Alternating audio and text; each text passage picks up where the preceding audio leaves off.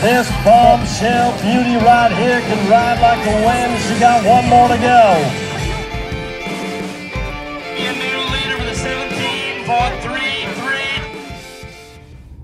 Hey guys, welcome to Barrel Racer Life. My name's Maddi Stoltman. So I have driven all over God's green earth this past week, it feels like, uh, but got to get, head to a few rodeos, um, one in Idaho and then um, stopped over in Oregon and, then headed on home. Uh, and then I had a really lazy Saturday and I was really happy I did because driving all over by yourself and late nights is tiring. it's like, I feel like maybe I'm getting old. I don't know. Um, but anyways, it was a lot of fun. I'm going to show you guys about my little trip over to Idaho and a couple rodeo stops on the way.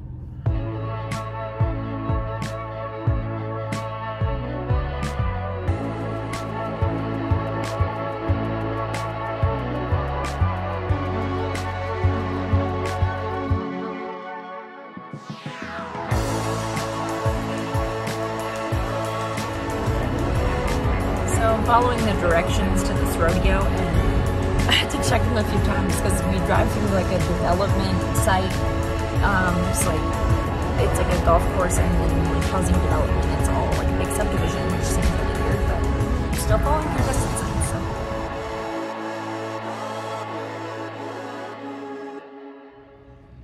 You think you're pretty cool up there, don't you? I uh, just went and checked out the arena, paid my fees. Um, they have slack only tonight, but they're calling it like a special section because there's a whole rough stock event and stuff like that too. Um, barrels are very last. Starts at 7.30. I don't think I'm gonna run till like 10.30 tonight, so it's gonna be a bit late. Um, but yeah, we're here. Got the horses out of the trailer, watered, and now we'll just hang out for a while. Tuna got to come this time, right? Tuna. Yeah, it's not supposed to be too hot for the next few days, so she could come along. Yeah.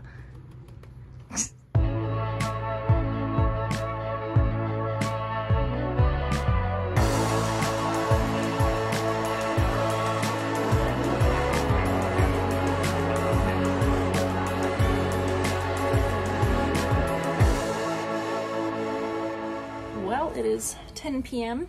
and I'm gonna go get on my horse now.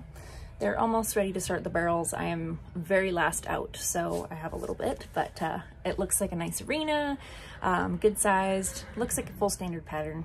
Um, I'm looking forward to getting to run. It's gonna be awesome.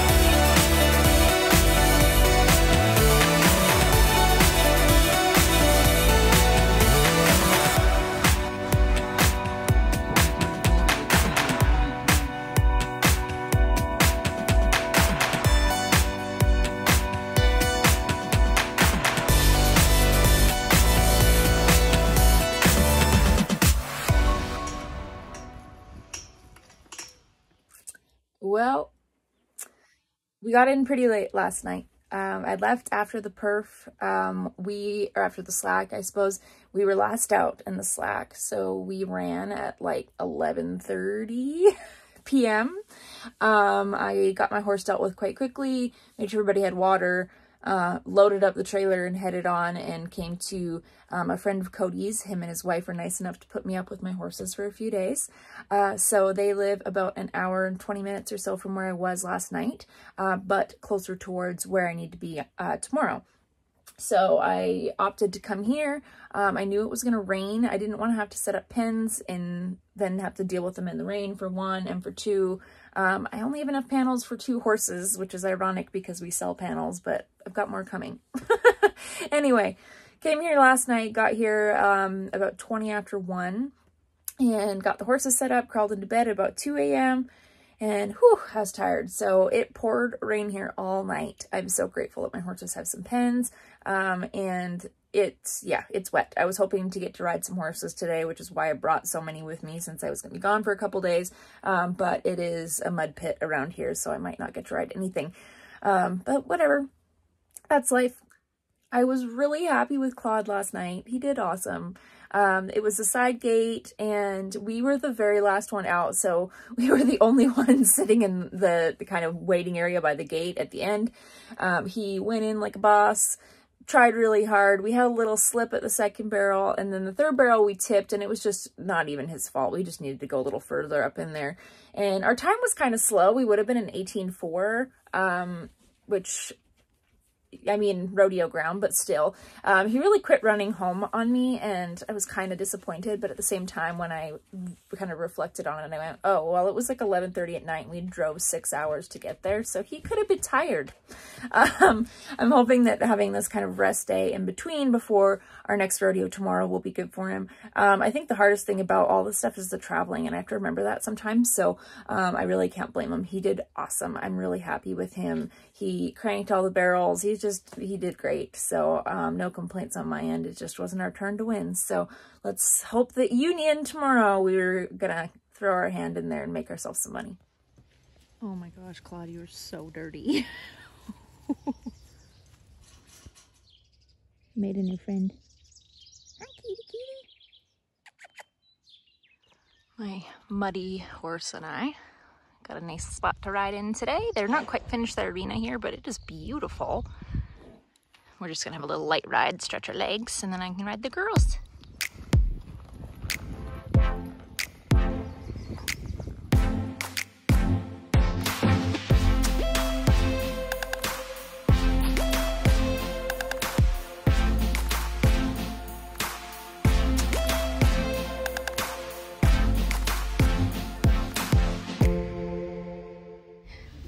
I did a loop through the rodeo uh, parking area, I guess you could call it, and it was completely full, so we ended up parking on the road. Uh, thankfully, the people who own this property were very nice, and I was not the only one who needed to park on the road from the looks of it. Hi, girls.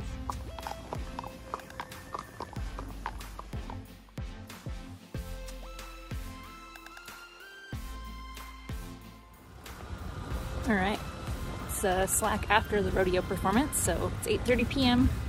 They're about done with the other events, barrels start, and uh, we are number 31, so Claude is full of beans. We're just walking laps on the track and uh, get warmed up here pretty quick.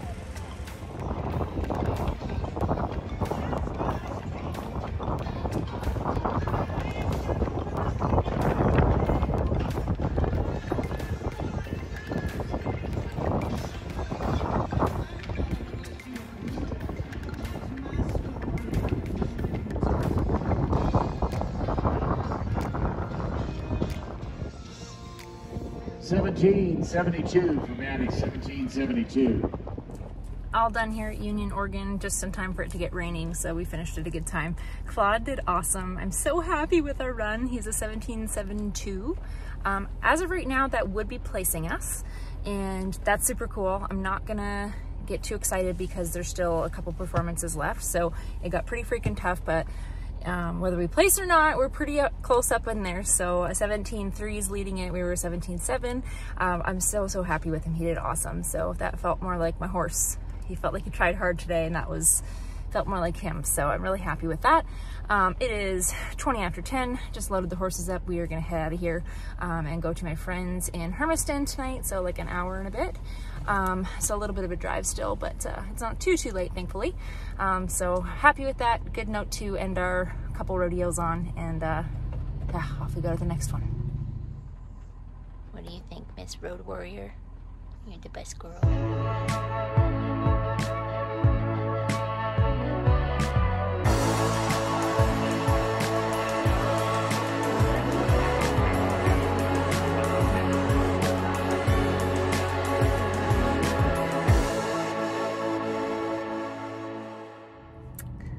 So I'm over the moon excited for a few things. Um, this is a really, really big deal. First, Claude and I made our first pro rodeo check. So we ended up picking up the last hole check at Union, Oregon. I am so freaking excited. It was a tough rodeo. Um, and the other cool thing is that my friend Lisa, who is another fellow Canadian, uh, she actually won the rodeo. So Lisa won the rodeo at uh, Union, and then Claude and I were tied for ninth and 10th place. Uh, so I'm super stoked. Just a small piece of the pie, but uh, no complaints. I mean, who knew that you could be so excited over $193, but I'm over the moon. so feels like this is just the beginning. We had a great run there. Claude worked awesome. Super, super stoked about that. And then I'm also really excited because I got the clear for Jada to go back to running barrels. So you guys know my little gray mare Jada. She has been off for forever it feels like. My last run I made on her was September of 2019. So it's been a long time. Um, she feels really strong. She looks amazing. And uh, my vet gave her the all clear that she's healthy, strong, and both of her hind legs look great, uh, which is really good news. So I'm going to start working the barrels on her a little bit at home um, and then hopefully get to take her to some barrel races soon. Um, I know that she's excited to go. I walk her through the barrels um, after our workouts and I can just feel her that she's just super stoked. So oh, I'm so excited. So it was a really great week. Um, lots of good things going on. This coming week, your girl is actually going on a little vacation. So I'm actually going to take a week off, off of Barrel Racer life. So there will be no episode next Tuesday. No need to panic. I've got plenty of barrel racing coming up and it's going to be freaking busy for the rest of June and into July. Um, so I'm going to just take a break before things get super wild um, and have a little vacay. So thank you guys. I always appreciate your support and thank you as always for watching. Um, and thank you for coming along for the journey. Some wins, some losses, some knocked barrels, and some really good news. So I always appreciate you guys. And I'm still trying to get to that goal of 10,000 subscribers. So if you have not subscribed to my channel, please do. And don't be afraid to take a friend, share this with a friend, whatever you'd like to do. Um, help your girl get to 10K. So thank you guys. I always appreciate you and I'll see you in two weeks.